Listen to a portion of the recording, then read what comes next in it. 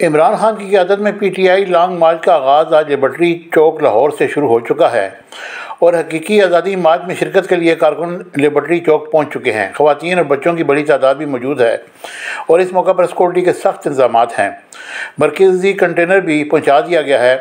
पहले दिन लॉन्ग मार्च लाहौर में ही रहेगा। लिबर्टी चौक से Ichhra Mozang M O college general post office चौक दादा दरबार से आज़ादी चौक पहुँचेगा। और लॉन्ग मार्च अगले दिन शाहदरा से शुरू होगा और दूसरे दो हफ़्ते को मरीज़ के कामों की से गुजरावाला पहुँचेगा। डस्का से होता हुआ सियालकोट पहुँचेगा। लॉन्ग मार्च समड़ियाल वजीराबाद से होता हुआ गुजरात पहुँचेगा। और लाला मुसा खारियाँ से जेलम जाएगा। गुजर खान से रावलपिंडी, चार नवंबर जुम्मे को रावलपिंडी से इस्लामाबाद में दाखिल होगा। इमरान खान ने लॉन्ग मार्च की प्लानिंग में थोड़ी सी तब्दीली कर दी है और उन्होंने हमत अवली बताते हुए कहा कि लाहौर में लॉन्ग मार्च अवाम पैदल चलेंगे और घरों से जो गुजर कर पहुँचेंगे, क्योंकि आज सिर्फ़ मीनार पाकिस्तान तक जाना है और दरमियान में चार से पाँच मकाम पर खिताब भी होगा। और उन्होंने कहा कि गाड़ियाँ पीछे होंगी और लोग पैदल मार्च के साथ साथ आगे चलेंगे।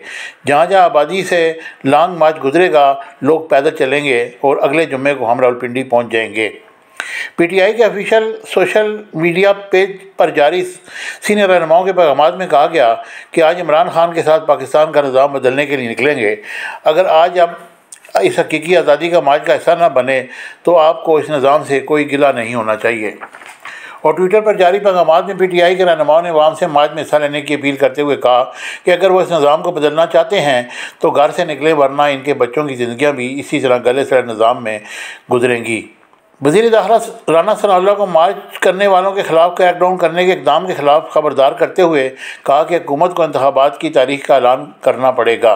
गुजशत रोज़ लाहौर में पी टी आई रहनुमाओं के हमरा प्रेस कॉन्फ्रेंस कर, करते हुए शाह महमूद कैशी ने कहा कि कल हमारे एक साथी फैसल वाडा जिनकी रुकनीत मुतल कर दी गई है ने जानते हुए कि तहरीक इंसाफ की बड़ी वाज पॉलिसी रही है कि हमारे जितने भी एहतजाज हुए वो पुरमन हुए।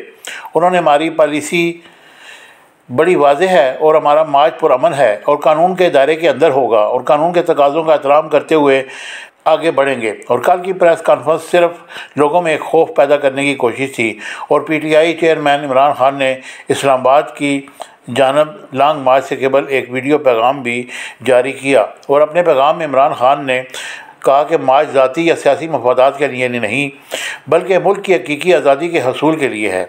सबक वज़ी अजम ने कहा कि माज का मकसद इस बात को यकीनी बनाना है कि मुल्क के फैसले गैर मुल्की खटपतलियों के बजाय इसके अंदर ही किए जाएँ।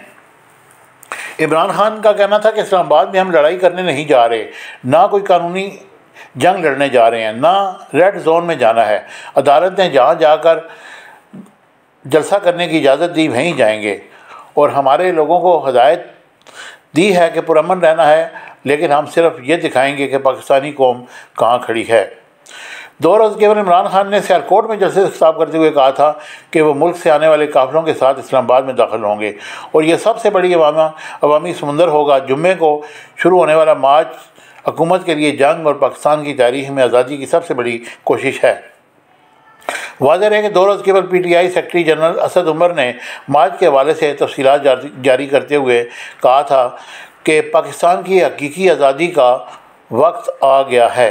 वफाकी वजी दाखिला राना सनाउल्ला ने कहा कि हुकूमत लॉन्ग मार्च के शुरा अगर कानून तोड़ने और मुल्क में अमन मान की सूरत हाल ख़राब करने की कोशिश की तो हुकूमत इनसे आइनी हाथों से निपटेगी और मुलजमान के खिलाफ सख्त एक्शन लिया जाएगा। इस्लामाबाद में साफियों से बात करते हुए वजी दाखिला ने कहा कि एहतजाज के हवाले से सुप्रीम कोर्ट का फैसला बड़ा वाज है और उन्होंने मजीद कहा कि अगर मुजाहरीन ने कानून की पासदारी की तो हम उन्हें सहूलत फ्राहम करेंगे। उन्होंने कहा कि अगर इस मुल्क में जत्था कल्चर प्रवान चढ़ता रहा तो जमहूरियत बेवकत और बेमैनी हो जाएगी। किसी को इस्लामाबाद पर चढ़ाई का मौका नहीं देंगे। वजारत दाखिला ने P T I long march से केवल सरकारी मुलाजमीन के लिए जारी मेमोरेंडम जारी में कहा कि मुल्क के आइन और कानून से इनराफ की इजाज़त नहीं दी जाएगी।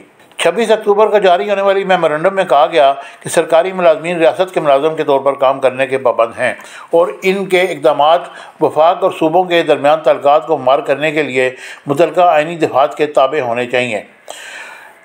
मेमोरेंडम में कहा गया कि जाँच का एक मुतन तरीका होना चाहिए, जैसा कि आइन में दर्ज और सुप्रीम कोर्ट के मुख्तलिफ़ फैसलों में बयान किया गया है। मजीद कहा कि ये यकीनी बनाना भी इतना ही ज़रूरी है कि किसी भी सरकारी मुलाजम को ऐसे किसी एजाज में शामिल होने की इजाज़त ना दी जाए। वजी अजहरा ने कहा कि अभी एक इजलास हुआ है, जिसमें लॉन्ग मार्च से मतलब सिक्योरिटी का जायज़ा लिया पी टी आई की दरख्वास्त का भी जायज़ा लिया जा रहा है।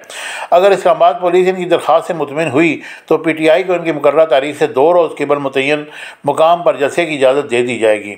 और दूसरी जानब, छब्बीस अक्टूबर को इस्लामाबाद पुलिस ने कहा था कि पी टी आई के लॉन्ग मार्च के दौरान सिक्योरिटी के इंतज़ाम की तैयारी मुकम्मल कर ली गई है। और पुलिस की जानब से जारी नोटिस के मुताबिक लॉन्ग मार्च के लिए तेरह हज़ार एटी सिक्स अफसरान और एहलकार तैनात किए जाएँगे। दो डीआईजी, दो एसएसपी, ग्यारह एसपी निगरानी करेंगे और तीस एएसपी और डीएसपी तैनात किए जाएँगे। पुलिस ने बताया था कि इस्लामाबाद पुलिस के मजमू तौर पर चार हज़ार एक सौ नबे अफसरान एहलकार तैनात होंगे जबकि चार हज़ार दो सौ पैंसठ एफ़ सी तीन हज़ार छः सौ रेंजर्स जबकि सिंध पुलिस के एक हज़ार बाईस अफसरान और एहलकार तैनात होंगे। मजीद तैयारियों के हवाले से बताया गया कि छः सौ सोलह आँसू गैस गन और पचास हज़ार पचास शैल छः सौ ग्यारह बोर गन और छत्तीस हज़ार सात सौ राउंड फ्राहम कर दिए गए हैं। और इस्लामाबाद पुलिस ने बताया कि दो हज़ार चार सौ तीस मास्क और तीन सौ चौहत्तर गाड़ियाँ भी फ्राहम कर दी गई हैं। नोटिस में कहा गया कि पुलिस की सात पेपर बाल गन्स और चार हज़ार पेपर बाल्स फ्राहम कर दिए गए हैं। और तमाम पुलिस अफसरान और एहलकारों को यकीनी तौर पर गैर मुसल्ह होने की हदायत भी की गई है। पी टी आई के लॉन्ग मार्च से निपटने के लिए फाकी हुकूमत मरगला हिल समेत बाईस मुख्तलिफ़ मकाम पर पाँच सौ से ज़्यादा कंटेनर ज़रूरत के पेश नज़र रखे हुए हैं। इस्लामाबाद पुलिस ने चार नवंबर को वफाकी दारकूमत में पहुँचने वाले तहरीक इंसाफ पी टी आई के लॉन्ग मार्च के दौरान जबत अखलाक से मुतल अपने अफसरान को हिदायत जारी कर दी गई हैं।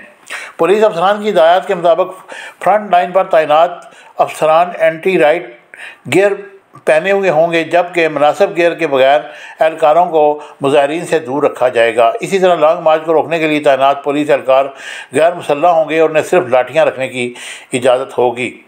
पुलिस एहलकारों को हदायत जारी की गई हैं कि लाठी चार्ज की सूरत में मुजाहरीन जिसम के ऊपरी हिस्से पर मारने से गुरेज किया जाए और मुजाहरीन की जानब से पथराव की सूरत में हिफाजती शील्ड इस्तेमाल की जाए। हिदायत के मुताबिक नाम मार्च के दौरान अमन व अमान की सूरत को कंट्रोल करने के लिए S S P headquarter तैनात फोर्स को एंटी राइट्स गेयर्स और लॉजिस्टिक सपोर्ट की फरहमी को यकीनी बनाने का ज़िम्मेदार भी होगा।